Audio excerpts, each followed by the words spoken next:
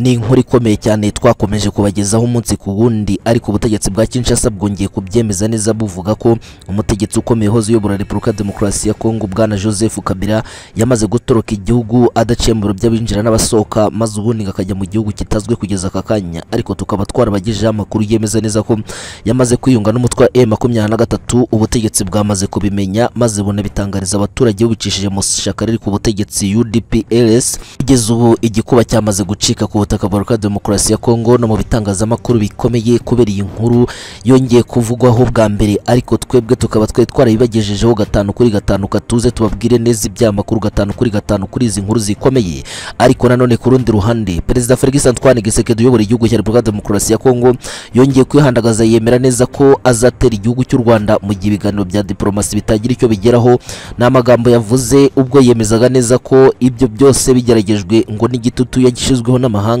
ari byo byatumye neza ngo yisubira ku mwanzuro yari yafashe wo kugaba ibitero ku butaka bw'u Rwanda. Ngo ariko uwo mugambi agomba gusubukurwa vuba na bwangu ngo mu gihe ibiganiro byose bitagira icyo bigeraho cyangwa se ngo bimo ikintu gikomeye cyatuma ngo urugamba ruhagarara ku butaka bwa Demokarasi ya Kongo cyane cyane mu burasirazuba we yita ko ari u Rwanda rwamaze gutera igihugu cye rwifashishije umutwe wa M23 kuri ubu butaka. Ibintu bikaba byaramaze guhindura isura mu buryo bukomeye. Katuze tubibabwire neza gatanu kuri gatanu muri izi nkuru zikomeye ku mutekano politiki na diplomasi. Nshuti yacu akadasohoka uherereye hose turongeye turagutumiye ku muyoboro mugari amakuru agezweho. Ngwino nanone kandi subscribe kuri butomo tugukore no kunzugira tujye tubana gatanu kuri gatanu muri izi nkuru zikomeye. Tuguhaye ikaze.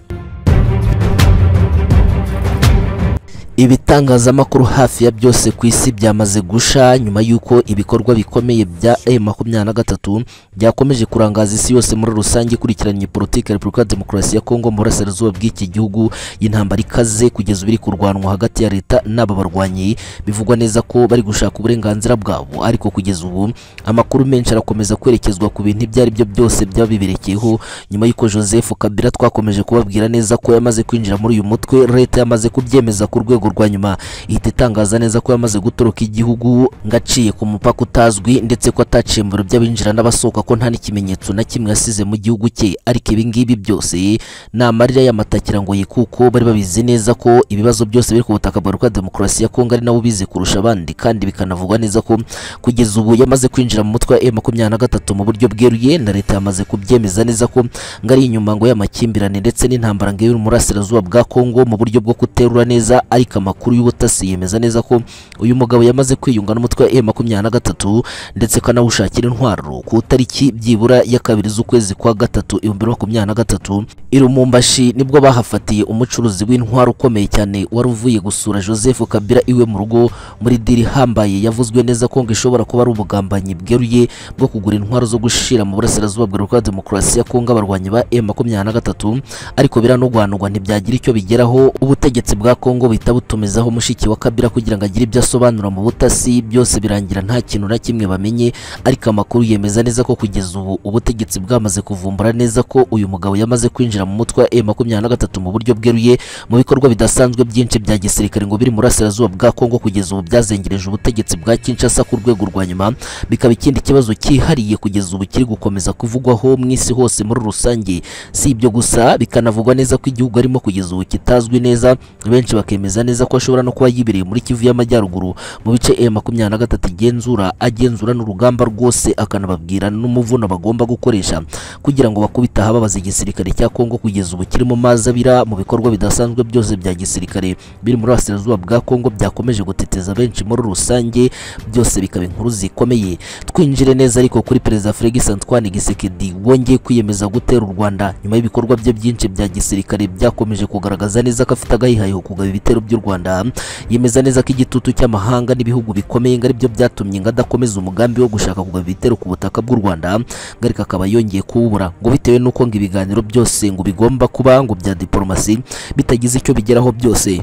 ngo umwanzuro nta wundi ni ukugaba ibitero ku butaka bw'u Rwanda mu buryo bweruye ngo kuko atari ikigwari ngo kandi atabuze n'ubushobozi bwarasa i Kigali kandi ibyo akaba yarakomeje kubyemeza umunsi ku wundi nk'uko akomeza kubyemeza. Yavuze ko kutarasa mu Rwanda atari ukubera ngo ari ikigwari cyangwa se abuze ubushobozi ngo ko ibinyoma bya Perezida Paul Kagame ngo no gukomeza kubesha abantu ngo byose ngo abirambiwe ngo kandi ngo icyazavamo cyose kizaba cyerekeranye n'intambara nk'uko yabyemeje ubwo yiyamamarizaga manda ya kabiri arimo kuyobora kugeza kuri uyu munsi kazasaba inteko ishinga amategeko y'igihugu cya Repubulika Demokarasi ya Kongo ikamuha uburenganzira ngo akagaba ibitero ku butaka bw'u Rwanda mu buryo bweruye ibyakomeje gutungura isi yose muri rusange ndetse bikanakomeza gukurura umwuka mubi hagati y'ibihugu byombi kugeza ubu. Nk'uko perezida w'u Rwanda Paul Kagame abisobanura ko we yiteguye ko ibitero byose byazagabwa ku gihugu cye azahita yirwanaho mu buryo bweruye mu gihe perezida Felix Antoine Tshisekedi atasobanukirwa uburemere bw'ibyo ahora avuga buri munsi nk'umukuru w'igihugu kugeza uyobora igihugu cya Repubulika Demokarasi ya Kongo utazi ngo ibintu ahora atangaza n'ingaruka bishobora kugira ku baturage muri rusange byose ni inkuru zikomeye. Si ibyo gusa ariko nanone ku rundi ruhande. Abakomando badasanzwe b'igisirikare cya M23 bongeye kubabaza byeruye inkozi z'ibibi za FDL ndetse na Wazalendo babambura ibirindiro bikomeye by'ahantu bita Kirumbu mu ntara ya Kivu y'Amajyaruguru ibi birindiro bikaba byababaje bikomeye abasirikare ba Wazalendo ndetse na FARDC mu buryo bukomeye nyuma y'uko byigaruriwe kandi ngo bikaba biri mu gace keza k'itegeko bya gisirikare bikomeye by'igisirikare cya FARDC hakaba hafatiwe n'intwaro nyinshi ngo zagize ingaruka zikomeye ku gisirikare cyose cya FARDC bitewe n'intwaro zidasanzwe zahafatiwe kugeza kuri aka kanya ngo zikenewe mu buryo bukomeye ngo kandi zizakoreshwa muri operasiyo nyinshi za gisirikare z'igisirikare cya M23 ariko nanone twinjire neza aho bita Kiwanja nyuma y'inama idasanzwe yahabereye ku tariki ya makumyabiri n'itanu z'ukwezi kwa gatatu bibiri makumyabiri na gatatu FARDC yabyutse yongera kwagaba ibitero simusiga aho ni muri teritwari ya Masisi kugeza kuri aka kanya ngo harimo kaga gakomeye mu bitero by'umusubirizo kugeza ubu ngo byashegeshe bikomeye igisirikare cya M23 ngo ariko kikirwanaho. Byose katuze tubigarukaho neza tubikubwira uko byagenze gatanu kuka nshuti yacu aho uherereye hose nanone kandi turakwakiriye ku muyoboro mugari makuru agezweho ngwino kandi subscribe kuri buto mu tugukora no kunzogera tujye tubana gatanu kuri gatanu muri izi nkuru zikomeye. Tuguhaye ikaze. Agace kitwa Kirumbu. Ni agace gakomeye kari ibirindiro bikomeye by'igisirikare cya FDL cy'inkozi z'ibibi zasize zikoze jenoside ku butaka bw'u Rwanda zifatanya n'igisirikare cya FARDC ndetse na Wazalendo byavugaga neza ko FDL yongerewe imbaraga zikomeye n'abasirikare ba FARDC ubwo bazanagamo ibikoresho bya gisirikare birimo intwaro za mota mashini gani nyinshi ariko ngo ibi bikaba byari kuzifashishwa bigabwa mu bitero bitandukanye ndetse no mu byerekezo bikomeye. M23 igenzura ku butaka bwa Demokarasi ya Kongo bivugwa ko abarwanyi ba M23 badasanzwe bahabyukiye muri iki gitondo ubwo bagabaga ibitero simusiga kuri abo barwanyi bari babangamiye umutekano w'abaturage mu bice bitandukanye bagenzura birimo na Kiwanja. Bivugwa neza ko aba baturage rero ngo babohowe nyuma y'uko ngo hagabwa ibitero simusiga byatumye abasirikare benshi bamburwa imbunda abandi bakicwa abandi bagahunga kibuno mpamaguru bataye imbunda ndetse n'ibikoresho bya gisirikare byinshi birimo n'imbunda nyinshi za mota mashini ganizi nyinshi cyane ngo ku buryo igisirikare cya M23 kizazikoresha mu bindi bikorwa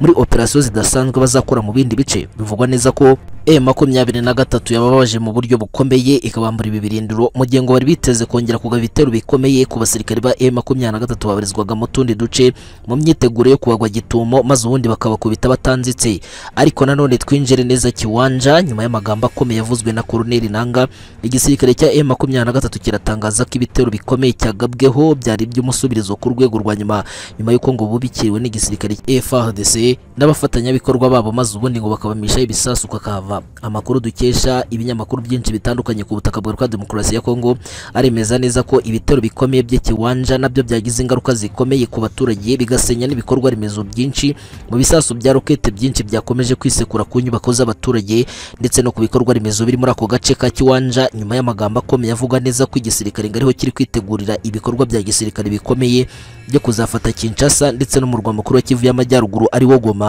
Wakomeje guhangayikisha byeruye abasirikare ba FARDC kugeza ubu bari mu bikorwa bya gisirikare. General Chiko Chitambwe ni we wari uyoboye ibikorwa bya gisirikare bivugwa neza ko byagize uruhare rukomeye mu kwangiriza ibintu byinshi kugeza ubu ku butaka bwa Demokarasi ya Kongo nk'uko tubikesha ibinyamakuru bikomeye. Ariko imirwano ikaze ikaba yakomereje muri teritwari ya Masisi Nyiragongo ndetse n'ahandi mu bikorwa bitandukanye byose bya gisirikare ngo by'ibitero shuma bigamije gutuma M23 igabanya umuvuduko ndetse n'akarindi iriho mu bikorwa byose byabo bya gisirikare bigamije ngo kwigarura uduce twa Repubulika Demokarasi ya Kongo muri Kivu y'Amajyaruguru mu buryo bukomeye. Ntiharamenyekana neza abasirikare bashobora kuba bapfuye ku ruhande rwa M23 ndetse no ku ruhande rw'igisirikare cya leta. Cyabyukiye mu bitero bikomeye kandi bikaze cyane bivugwa neza ko ngo byari bigamije gutuma M23 yemera ikamanika intwaro ngo ndetse n'abarwanyi bayo bakishikiriza igisirikare cya leta mu buryo bweruye ngo nubwo bitigeze bishoboka muri ibi bikorwa byose bya gisirikare byaranze uyu munsi wose. Si ibyo gusa ariko nanone ku rundi ruhande.